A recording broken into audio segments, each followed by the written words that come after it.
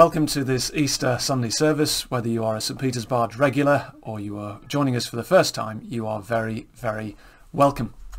There is our service sheet available on the St Peter's Barge website, um, so do go to there if you want to download it. You just click on the Easter services graphic on the home page and it's available there. The younger ones, as usual, have had their Sunday school already this morning on Zoom. Uh, so when we get to the Bible teaching bit in the service now, uh, that's pitched a little bit more at the grown-ups. I'm sure your parents already have something to hand for you to be doing when we get to that so that they can listen. Now, as usual, we're going to say hello to our good friend uh, Sean the sheep. Uh, so, Sean, if you can come and join me now, that would be great. Oh, here he is. How are you doing, Sean? Okay, I guess. Good, good. Um, It's hard not being able to hang out with my friends. oh, I get that completely. It's really hard, but it's great to have you with us today. And how about a little Easter quiz to cheer you up? Would that be good? Ooh. Okay, I've got a few questions for you. How do you feel if your tummy is empty? I feel sad. Okay, you feel sad. How do you feel if your piggy bank is empty? Sad then as well. Okay. How do you feel if your life is empty? Really sad then. Okay, so my Easter question for you is this. Jesus was buried in a tomb on Good Friday, and then on Easter Sunday morning, the tomb was found to be empty. So how does that make you feel? Oh, I get it. It's a trick question, isn't it? I'm not sad about that being empty. I'm glad. Well, why is that then? Why is the tomb being empty good news? Because it means Jesus was raised to life. That's it. You've got it in one. And that's why today is a celebration. Oh, hold on a minute. Oh, okay, Sean. Um, we're kind of live here, so we've got people watching. Um, Hold on, hold on. you need to come back fairly soon, Sean. This is going to be embarrassing. Um, okay, hold on. Sean is... Uh, here he comes. I... Oh, hold on. Sean, thank you for rejoining us. What What's going on here? Ta-da! Ah, Sean, now that is a... That's a really smart outfit. What is this? Well, given today's a celebration that Jesus is risen, I thought I'd put my best party shirt on. I absolutely love it. Thank you for dressing up for our party today, our celebration. Shall we pray together as we begin? Okay. Okay, let's pray. Lord God, we thank you for the wonderful news of Easter Sunday, that Christ is risen from the dead, that death has been conquered. Please, by your Spirit and through your word, fill us with joy and peace and hope in believing as we meet in the name of the risen King. Amen. Well, he lives. Christ is risen from the dead. We're going to sing together now. Okay, Sean, thanks for being with us.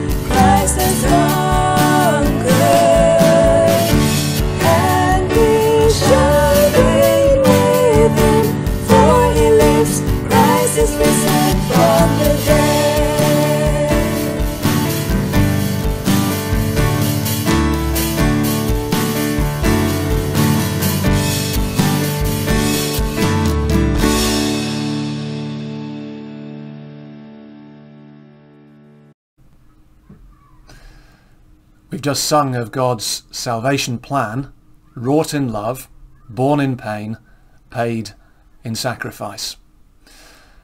On Good Friday we were remembering the sacrifice of Jesus in our place, taking the judgment that we deserve. And we're going to acknowledge now our need of that sacrifice as we confess to God ways in which we have failed to live as we should. So together we pray.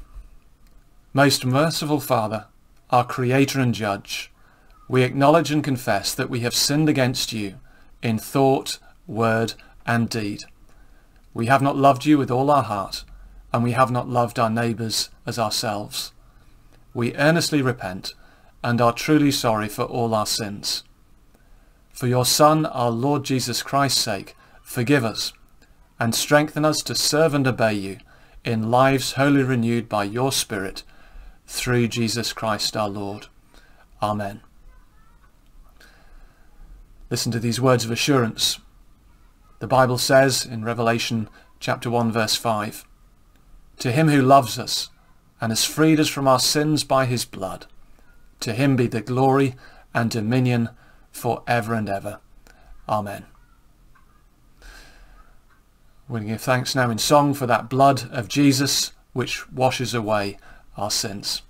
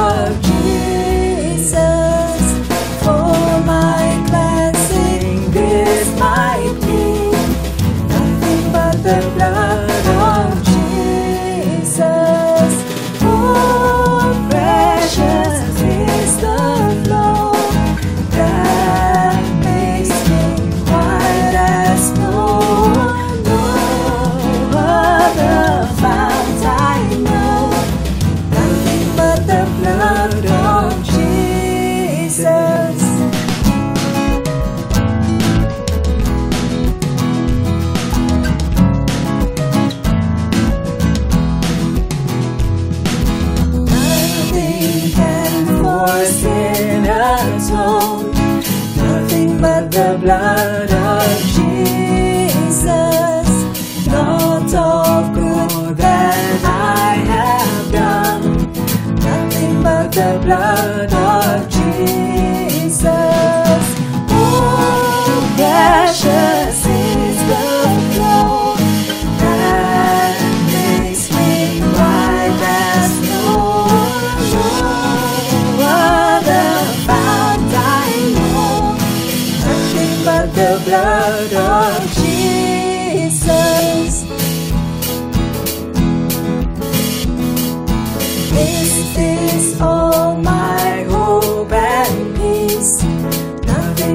the blood of Jesus. This is all my righteousness. Nothing but the blood of Jesus. Oh, precious is the flow that makes me white as snow.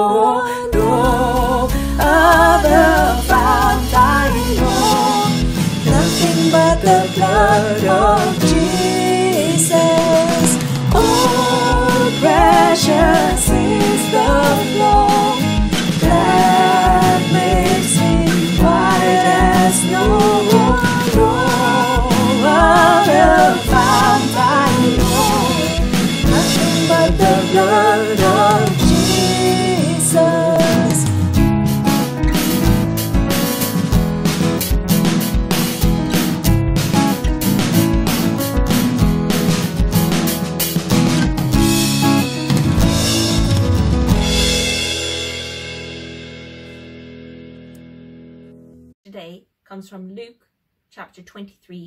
starting at verse 50.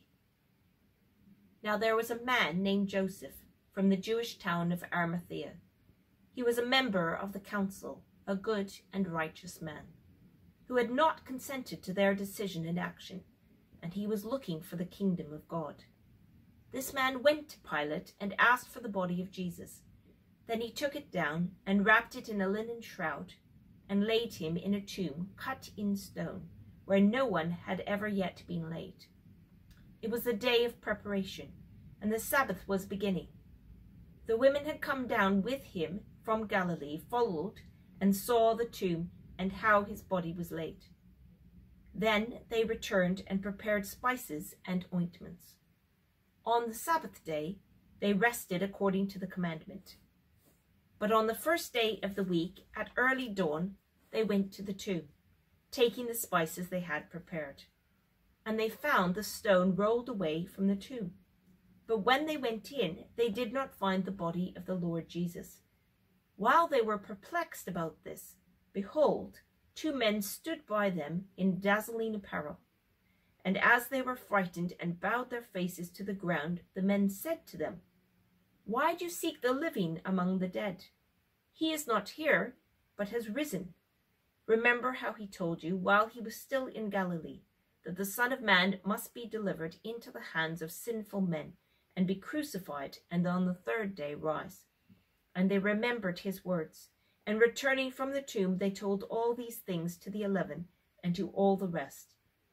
Now it was Mary Magdalene, and Joanna, and Mary the mother of James, and the other women with them, who told these things to the apostles.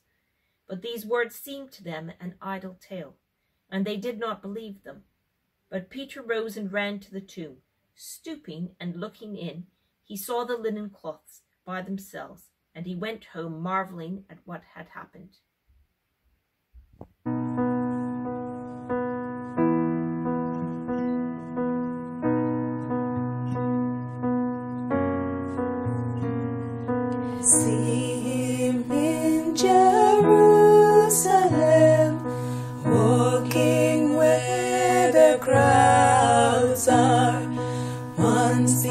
These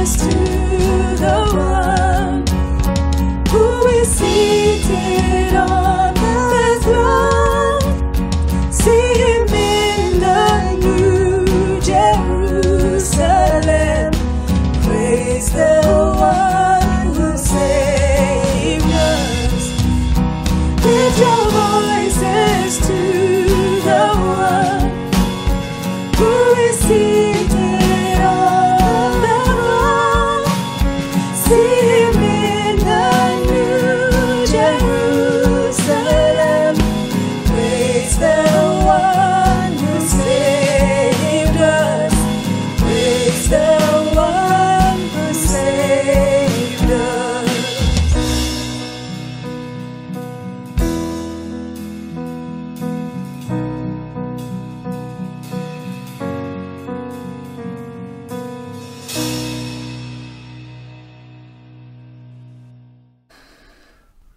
began our Good Friday service with the grim figure of 75,000. That was the number of global deaths from the coronavirus. It's now 95,000. It's gone up by 20,000 just over a couple of days. And in the UK we've had our first day this past week with over 900 deaths. One thing you can't get away from at the moment is death. Uh, we're really having our faces rubbed in it, aren't we? Um, now, of course, before all this started, people were still dying every day, 1,500 deaths a day in the UK. But it was just happening quietly, behind the scenes, not reported, not talked about, hushed up. It's now headline news, and we're very aware of it. A church pastor called Francis Grimke was uh, preaching a sermon on November the 3rd, 1918 in Washington, D.C. And this was at the height of the Spanish flu epidemic. And he said this, As the papers came out day after day, among the first things that everyone looked for or asked about was the number of deaths. And so the thought of death was never allowed to stay very, very long out of the consciousness of the living. Well, although what we're experiencing is nothing like uh, on the scale of that epi- epidemic, the, the same is true, isn't it? That death is on our minds. And it feels quite close, doesn't it? Um, I mean, even if you're not high risk, you can't help but thinking, well, if, if Boris ended up in intensive care, surely none of us is safe. This virus is no respecter of persons, of position or of privilege. If even Boris can't be protected from this, who can? And with no vaccine, we feel helpless. People speak, don't they, about the fight against the virus and at some point we will win the battle and things will return to normal.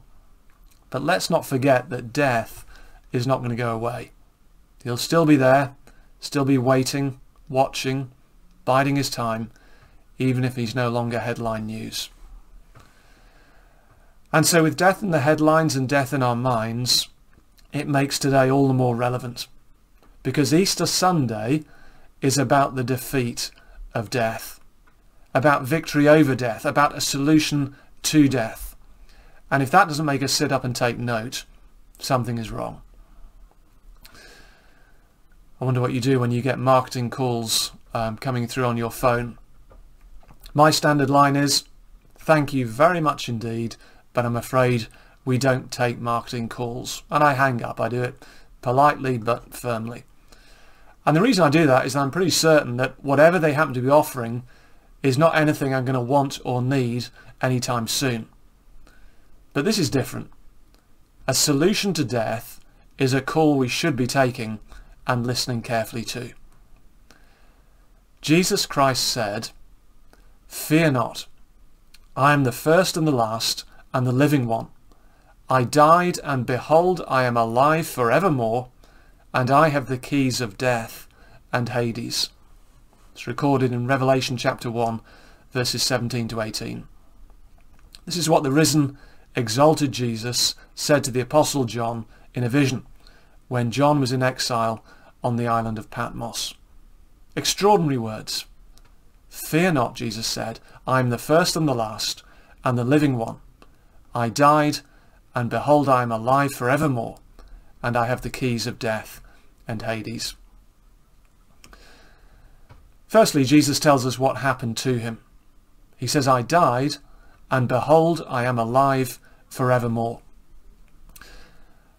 At the heart of Christianity are two events on one weekend in the first century the death and resurrection of Jesus Christ. His death on the cross to pay for our wrongdoing on the Friday, and his resurrection to life on the Sunday.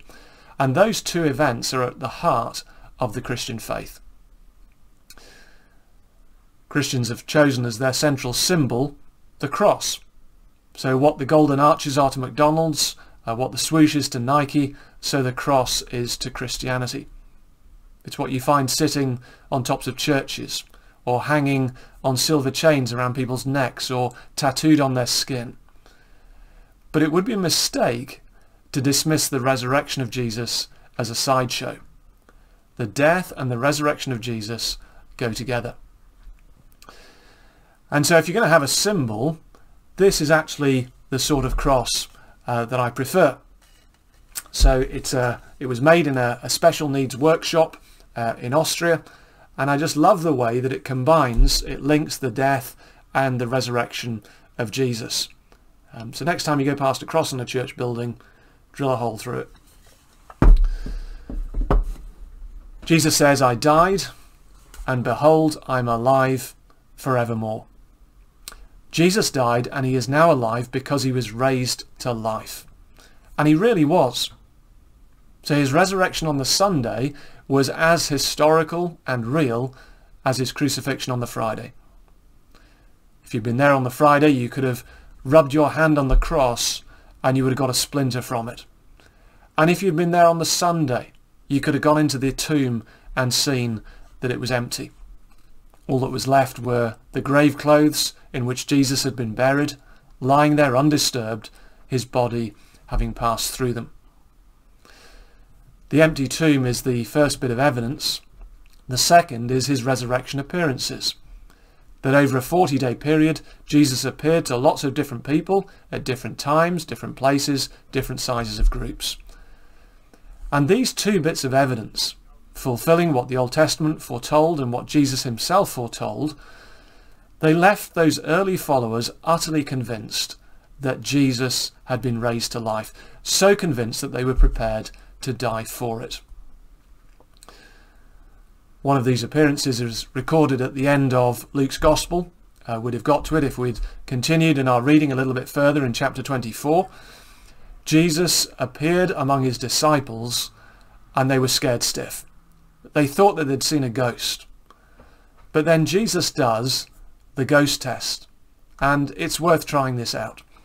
So if you wake up in the middle of the night and you see someone at the foot of your bed, you're probably going to want to find out whether or not it's a ghost. How do you do it? Well, it's very simple. Uh, there are two simple tests. First test is the touch test. Yeah, so reach out and touch the person. And if your hand happens to hit up, against something solid, against flesh and, blood and bone, well, that's not a ghost. Yeah, that, that's a living person. So if you were here, you could try it with me. You could uh, you could poke me and see if I'm a ghost or not. And if there's someone next to you, maybe give them a bit of a poke now. Second test is the food test. So give them something to eat. And if it disappears uh, when it goes into their mouth, you can guarantee that that is not a ghost. So I thought I'd just try this uh, with you just to, to test it out. So here we are. Um, an oat cake, Nairn's oat cake, very nice indeed. And um, the thing is that ghosts don't have an esophagus, uh, they don't have intestines, they don't have a stomach. Um, but if it's a real person, when you eat something, it's going to disappear. Maybe a Nairn's oat cake wasn't the best thing. Um, these are the tests that, excuse me a second, Ah, that's better. These are the tests that Jesus got his disciples to do when he appeared to them when they thought that he was a ghost. So this is what he said to them. He said, Touch me and see, for a spirit does not have flesh and bones, as you see that I have. That's Luke 24, 39. And then he said to them, Have you anything to eat? And they gave him a piece of broiled fish, and he took it and ate it before them. On Wednesday this past week, we had a lunchtime event online, and the topic was, Did the resurrection of Jesus really happen? And our speaker was Jeremy Cooke, or Mr. Justice Cooke, to give him his proper title. Um, he's a former High Court judge. And so he's well placed to examine evidence. Uh, that's his job. It's what he's done for a living, examining evidence. He shared with me that uh, for a short two-week trial, you might have 20 to 25 lever arch files full of evidence that he needs to read through and assess. And he said that for a commercial case, a case between multinational companies, you're looking at 150 to 200 lever arch files. He says law is based on the premise that truth is discoverable from the evidence. He actually began his talk on Wednesday by eating a daffodil. He really did. It was a proper daffodil. Chomp chomp, down it went. And he says this. He says, imagine going back to your flat and telling your flatmates that you've just seen a High Court judge eat a daffodil. They might not believe you. But what if 20 or 500 people reported the same and they were people of integrity? The evidence, he says, is what people say they have seen and heard and you need to evaluate it, look at contrary evidence and work out what is the most coherent explanation. That is precisely, he says, what we have to do with the resurrection of Jesus.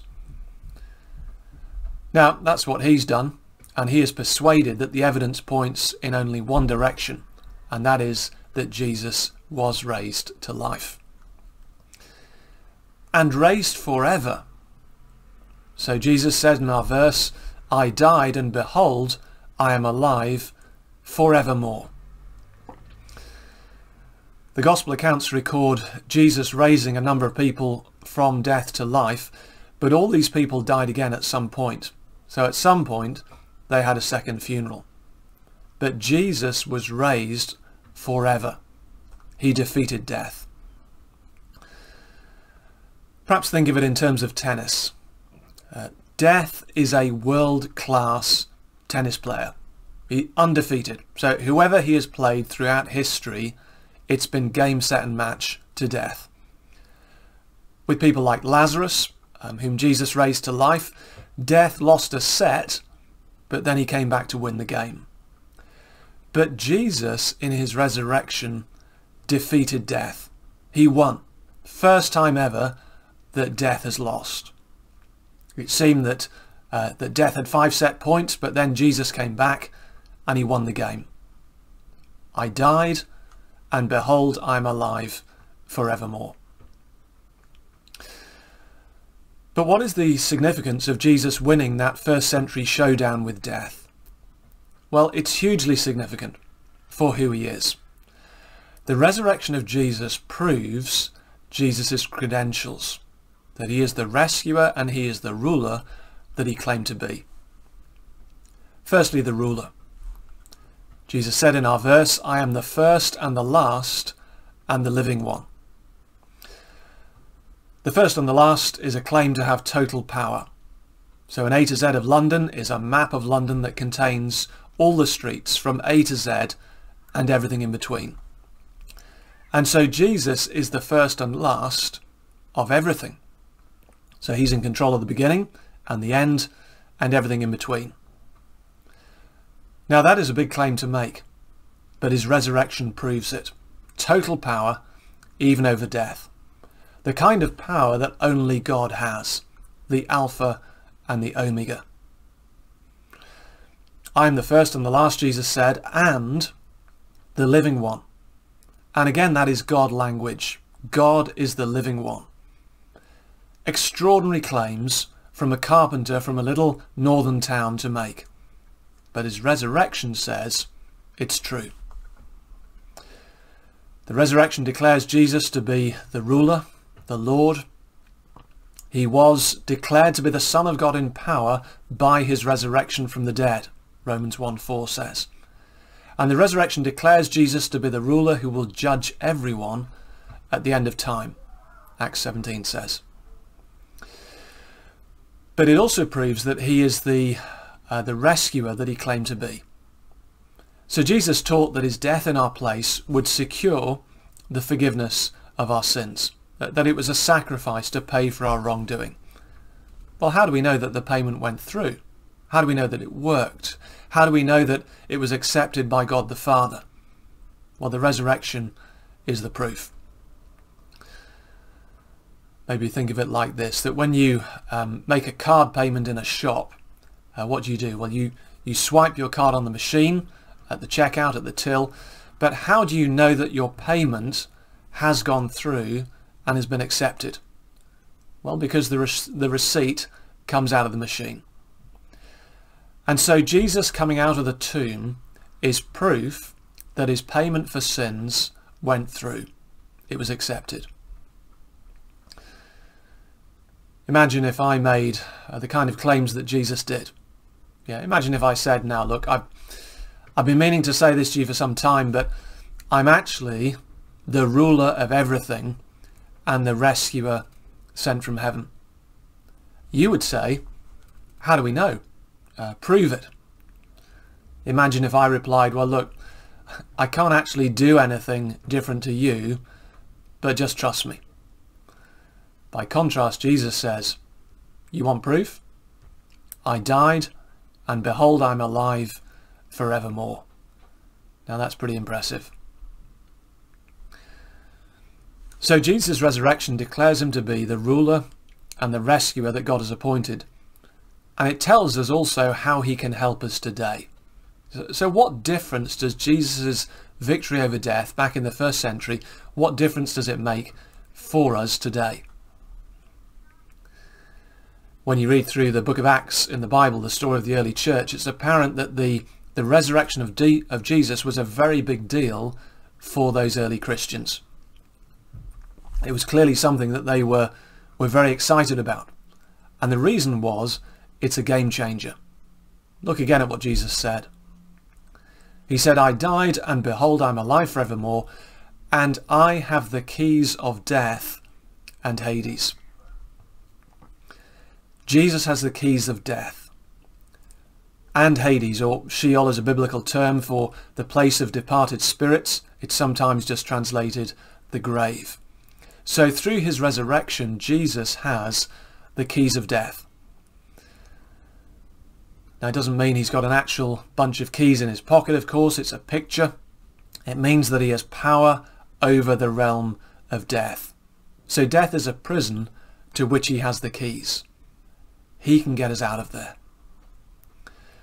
You see, keys give you power, don't they? They give you power to get into places. They give you power to get out of places. They unlock doors. Without the key, you're trapped. And so with death. Death is a prison to which we are heading, and none of us, the, none of us has the key to get out, but Jesus does. Jesus is the key holder. And he's the only one. Um, you can't go into your local Timpson store and get a copy made. He alone has the keys. One day we are going to die. And there's only one person who can get us out of that prison. There's only one person who has the keys of death. Jim Rohn is a motivational guru whose philosophy has apparently helped millions of people to improve their business and their personal life and their leadership and their finances. I'm sure it's improved his own finances a little bit as well. One of his best-selling books is called The Keys to Success. Now that's fine, but that's not going to help any of us when we face death. If you are lying in the Nightingale Hospital uh, would you be thankful if someone came round giving out copies of that book? We don't just need someone who can get us through life successfully.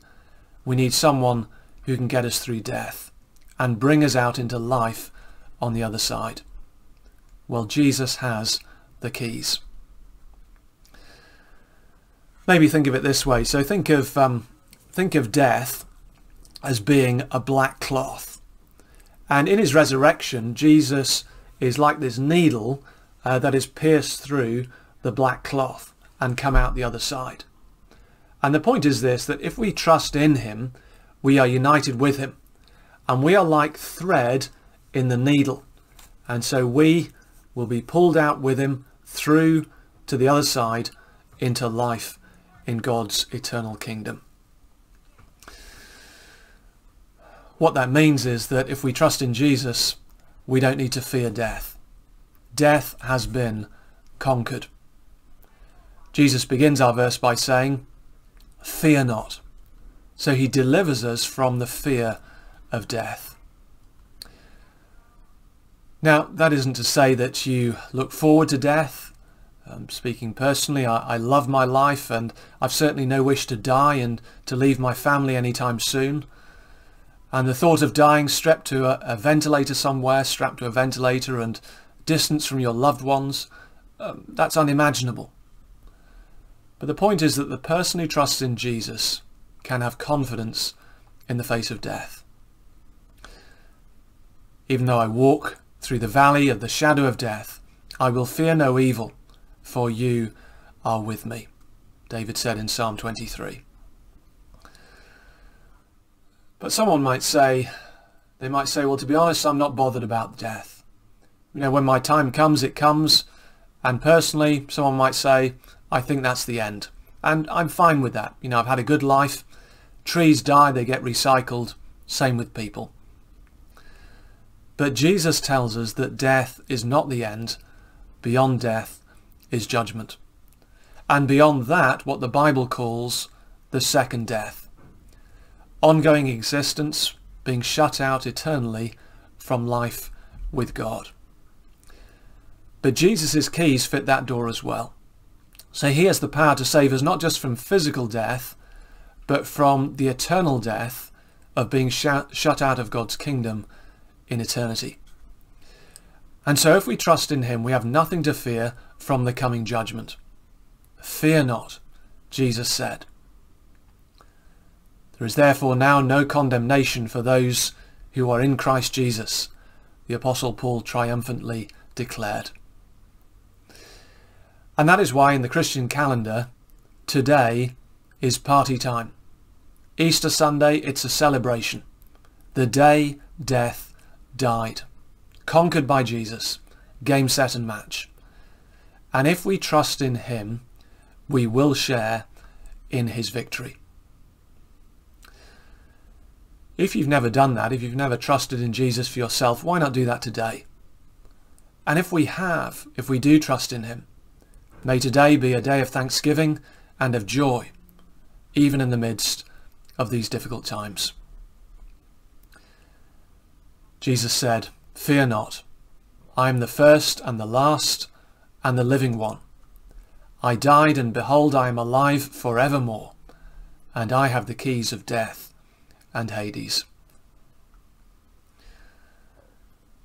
Well, let's pause for a moment to reflect on these wonderful words of Jesus, and then the Ferguson family are going to lead us in our prayers.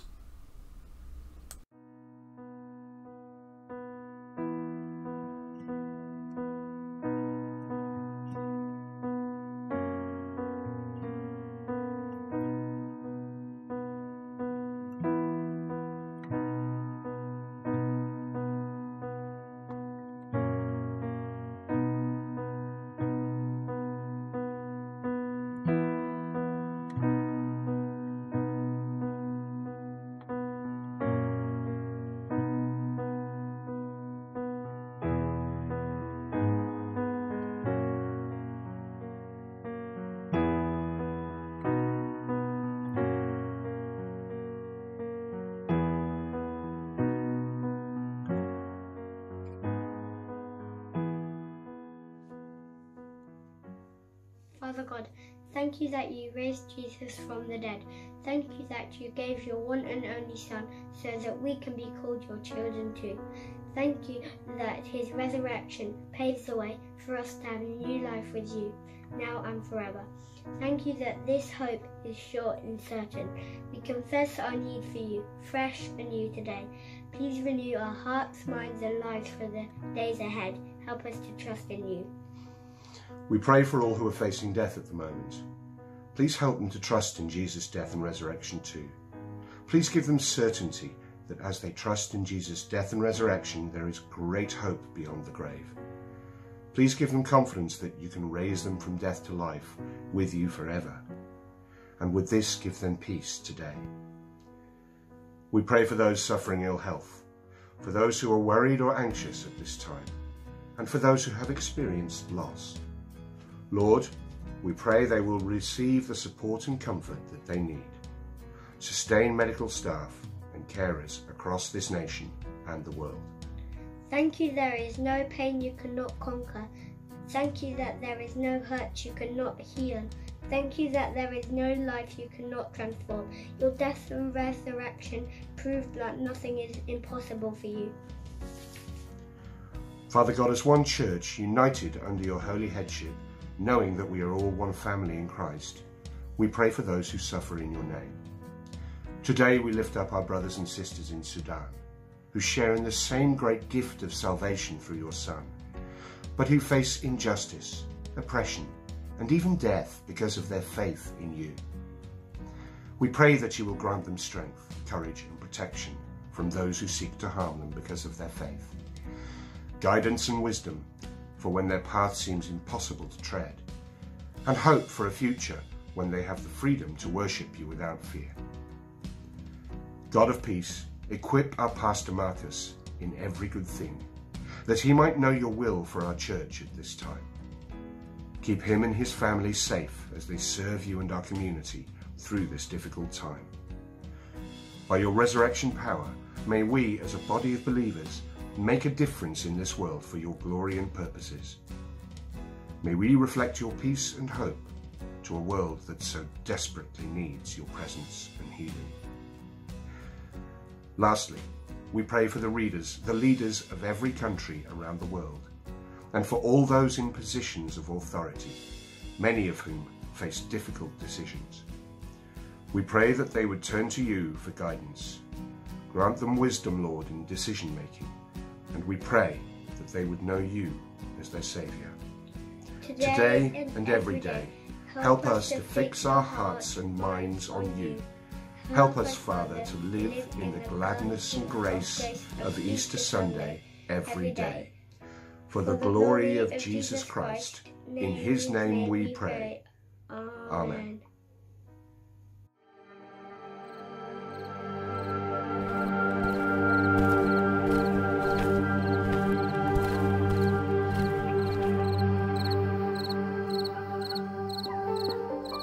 It's finished. It's over. There's more of them than us, and they look a lot bigger. The villain's got the girl and his fingers on the trigger. Voldemort, Sauron, and Vader reign. It's gone to penalties against the Germans again. It's a terrible feeling when hope is erased, faith misplaced, virtue defaced, gloom embraced, reputation replaced with the taste of disgrace. When you've pushed every door and it's been slammed in your face, when you realise you're third in a two horse race. So come sit with me on Golgotha's slopes. See human history at its lowest ebb. See the forces of goodness and grace on the ropes. Evil had spoken, last rites read. In a phony gown and thorny crown, he's mocked and knocked and shamed. As he staggers down through an angry town, they spit and hit and hate. Hands that forged galaxies and flung starry trails are pierced and punctured by merciless nails. His body succumbing to brutal infliction. These, the horrors of crucifixion. And as dice are tossed, hope is lost. Desolate disciples count the cost. King of the Jews, his headrest embossed, a criminal's killing on Calvary's cross. And as last words cut through foul smelling air, the whole of the cosmos cries out in despair It is finished. It's over.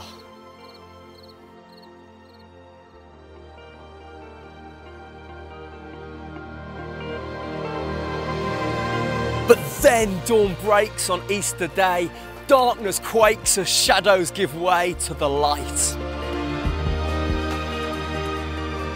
See, resurrection's the plan, it's why God sent him. And the comeback's on, there's a change of momentum. The powers of damnation in previous jubilation have been hushed and crushed by the Lord of creation. See, he takes the hit, stands where we should have stood, and that's why we call Friday good. And he's back with life and with us and blessed. And that's why we can know it as Sunday best. So to the 4 0 down, to the backs against the wall, listen to his rallying resurgent call. And to those up against it in brokenness and pain, Easter's story roars, we go again. So thine be the glory, death's lost its sting. Here's to Jesus, the comeback king.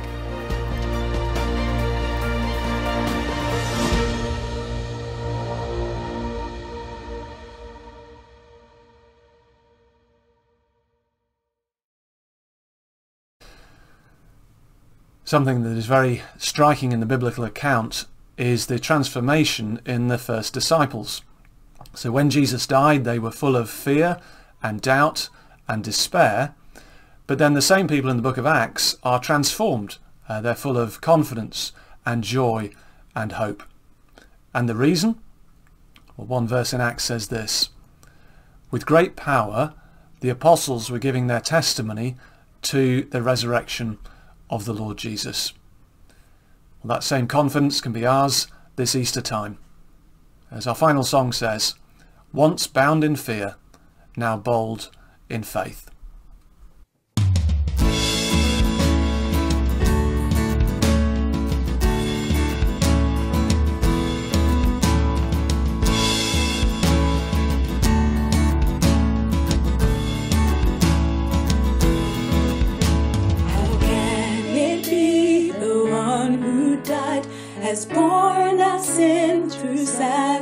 Sacrifice to conquer every sting of death?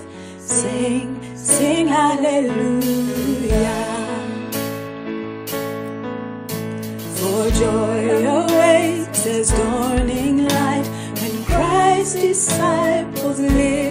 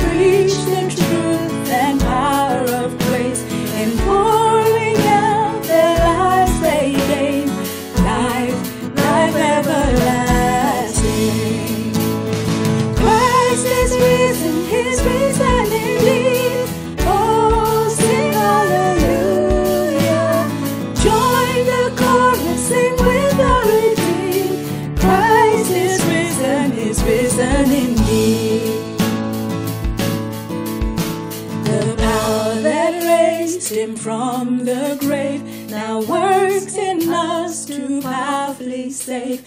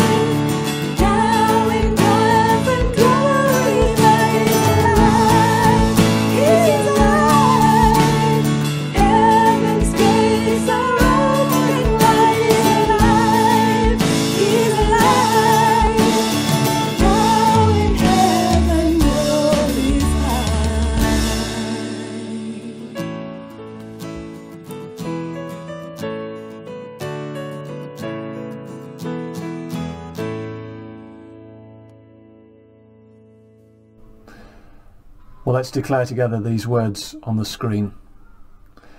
Christ has died. Christ is risen. Christ will come again. In just a moment, there's a chance to meet on Zoom for a time of Q&A and to hang out together online. And the link will come up at the end and is also on the service sheet. But as we close, a prayer from Romans chapter 15. This Easter Sunday, may the God of hope fill us with all joy and peace in believing, so that by the power of the Holy Spirit we may abound in hope. Amen.